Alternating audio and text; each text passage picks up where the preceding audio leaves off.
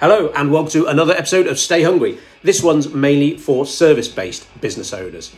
You want to go the extra mile for clients, I get that, but I wouldn't advise running an extra marathon because today's reward is tomorrow's entitlement.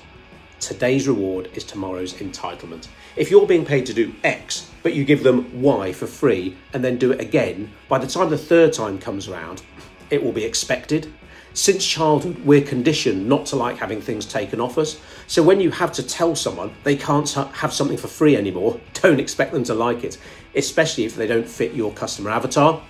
This is what my old man told me when he was a doctor. You're only as good as your last prescription. I've talked about this before as it is so ingrained in my memory. When my dad told me as a teenager, it's his parents basically who were being signed off sick, loved him, as long as he carried on writing their prescriptions and carried on signing them off sick.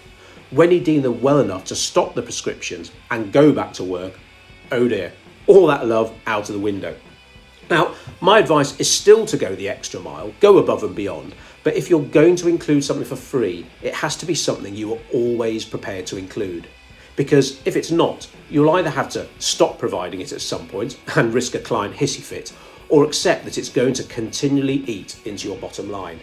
It's the undoing of many a kind business owner. You add up all those extra miles, and well, you're too knackered to do anything.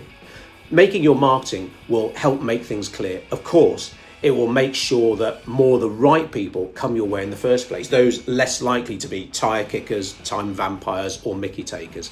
It will make sure they know you're great at what you do, but that it's also a level playing field. You're running a business just like them. None of this me big client, you lowly supplier crap. You're better than that. Leave the power games to the amateurs. If you know a business that's struggling with their positioning, please point them towards a discovery call with myself and Joel. There are only a couple of spaces available at the moment as Codebreak only helps a handful of businesses at a time. So stay safe, stay hungry.